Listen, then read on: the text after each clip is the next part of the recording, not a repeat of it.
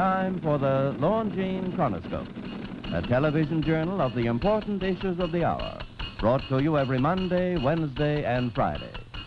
A presentation of the Longines Wittnauer Watch Company, maker of Longines, the world's most honored watch, and Wittnauer, distinguished companion to the world-honored Longines. Good evening. This is Frank Knight. May I introduce our co-editors for this edition of the Longines Chronoscope? Mr. William Bradford Huie, editor of the American Mercury, and Mr. Henry Hazlitt, contributing editor of Newsweek magazine.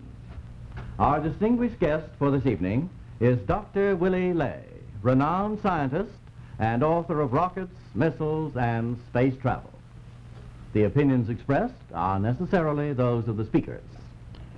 Well, Dr. Ley, we're very happy to have you at the Chronoscope this evening, and we're hoping you can help us throw some light on this great mystery of the so-called flying saucers that so many people claim to be seeing. Now, first, do you really believe there are such things as flying saucers, and what are they? Well, I believe that people are seeing something. Just what it is is a different question. I have been following the reports on flying saucers quite carefully ever since they first came out about five years ago. And my personal breakdown, which may differ from those of other people, is that about 85% of all the reports are simple mistakes of things which would be known to experts if they happen to see them. You mean mistaken interpretation? Mistaken interpretation. Yes. And that only about 15% are, or let's say, mysterious. Well, it's that 15%, of course, that we're terrifically interested in, That is the Dr. Ley. 15% we have to worry about, yes. Now, that's the 15% that, uh, do you have an explanation for that 15%? Uh, unfortunately, not only one. uh, people have advanced four different explanations for that, this 15%. The other 85% are mistaken sightings of meteorological balloons, skyhook balloons, etc., etc. Uh, the four explanations advanced were, number one, which was the most pleasing to believe, that they were secret experiments of our armed forces. Uh, this explanation has to be considered obsolete because the armed forces, A, have repeatedly declared that they are not of their making, the flying saucers, and B, it would be highly unlikely that one branch of the government spends money, time, effort, and machinery on investigating something done by another branch of the government. The second explanation advanced by some were that they were secret experiments of the Russians. This is unlikely. I can't tell you without looking it up how many square miles there are in the United States.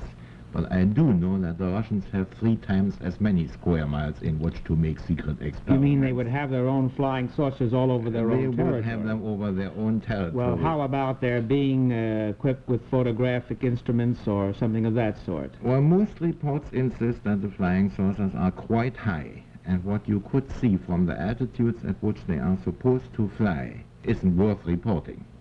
Well, now, you eliminate now two things. Number Yeah. one, you're convinced that they're not caused by something our own government's doing. Number Yes. one, you're convinced that they're not Russian. Right. Now, number three, what Uh, number three is a widely publicized belief that they are of interplanetary origin. Well, I notice a good many, uh, or several, uh, rather reputable people think that they may be of interplanetary origin. What do you think of that, sir? Well, I am not principally opposed to an alien spaceship landing tomorrow and teaching us a lot of things which we can't do ourselves yet, but I don't think the flying saucers are it.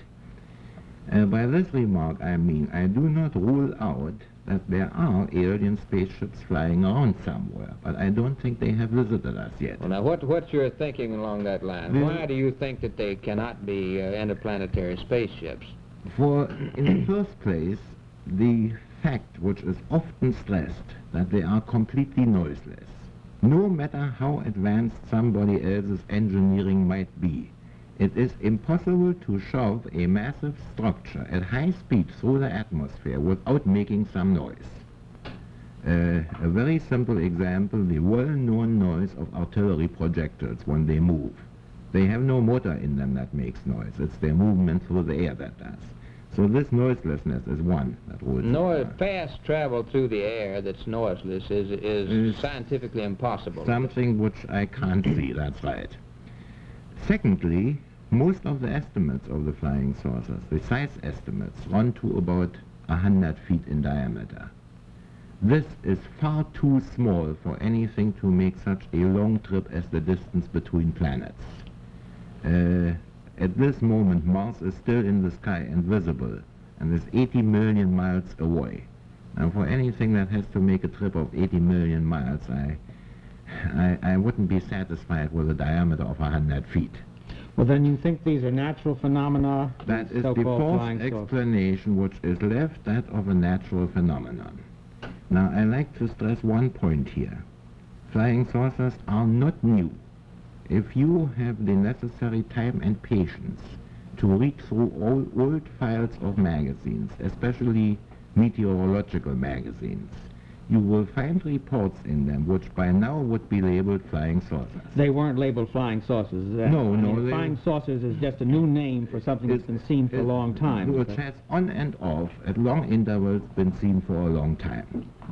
So this ties in with the idea that it might be a natural phenomenon uh, which either escaped attention in the past because fewer people looked into the sky, or else which actually was rarer.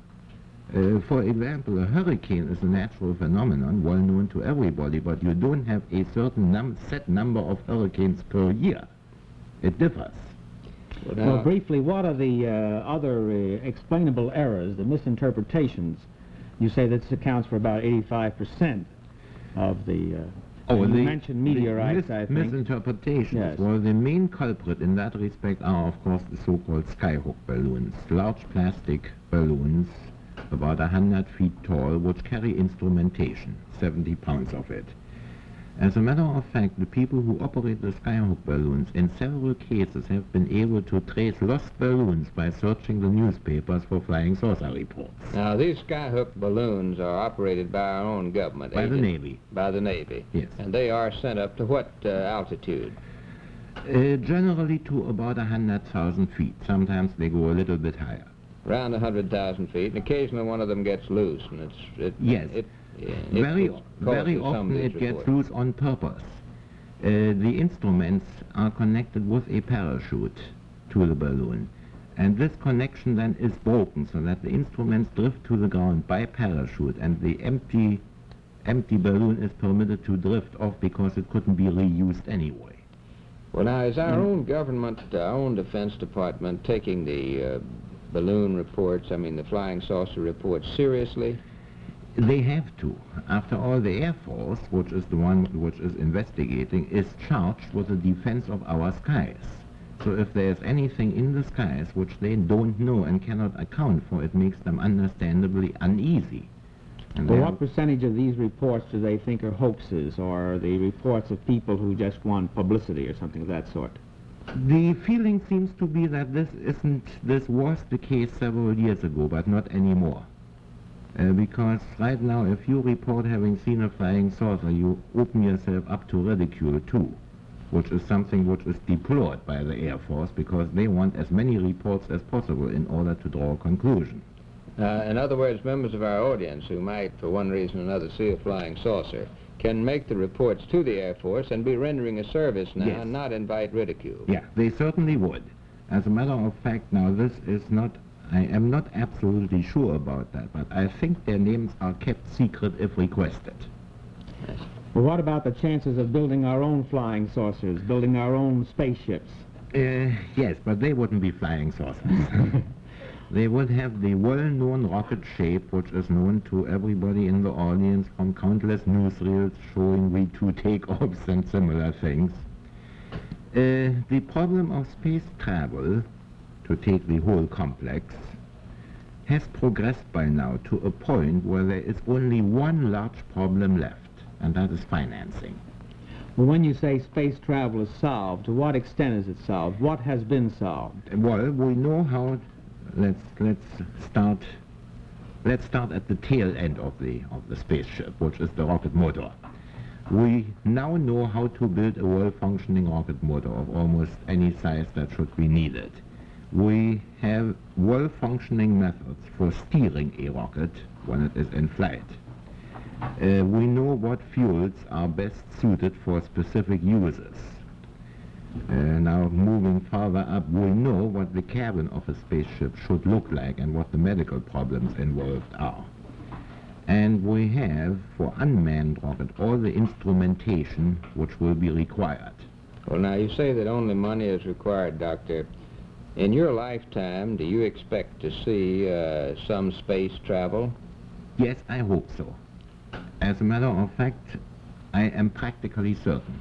And you think you think that uh, as a citizen and a scientist, do you think that there should be some uh, organized effort in our own country to promote this type of study and this type of scientific Yes, investigation? I do so. It would be very useful, not only from cultural point of view, for scientific reasons, but it also has military value. The military value is what gives it urgency. So you think that uh, we, it might be well if we had a national academy or something of that sort that was actually studying this The thing? best would be to set up a special agency, similar, say, to the Atomic Energy Commission, to do the actual work. Well, well, Doctor, I'm sure that our audience has very much appreciated your views tonight, and thank you Thank for you. being with us. The editorial board for this edition of the Longines Chronoscope was Mr. William Bradford Huie and Mr. Henry Hazlitt. Our distinguished guest was Dr. Willy Ley, renowned scientist and author of rockets, missiles, and space travel. Consistently superior manufacture alone has made Longines the world's most honored watch. Never in 86 years of business has Longines deviated from its avowed policy of making the finest watch possible by precision production methods. Thus, at world's fairs and international expositions, in competition with the products of the world's finest watchmakers, Longines watches have consistently won highest honors, including 10 World's Fair grand prizes and 28 gold medal awards. And in the competitive accuracy trials at the great government observatories, Longines watches have won innumerable prizes, bulletins, and awards of merit. In view of the demonstrated superiority of Longines watches, it is remarkable that Longines watches can be produced for as little as 7150, less in fact than the price of many watches of little distinction. So when next you buy a watch, either for yourself or as an important gift, remember, when you pay 7150 or more for a watch, you're paying the price of a Longines. Why not insist on getting a Longines, the world's most honored watch, premier product of the Longines Wittnauer Watch Company, since 1866, maker of watches of the highest character.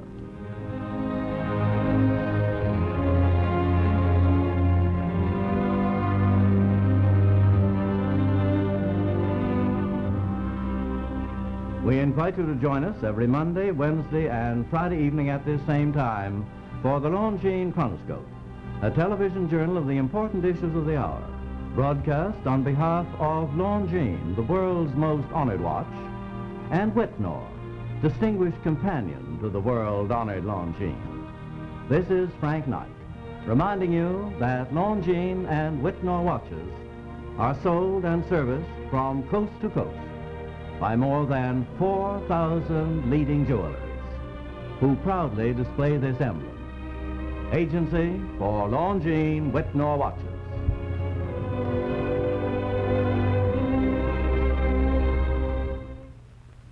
For thrills, see Suspense on the CBS television network.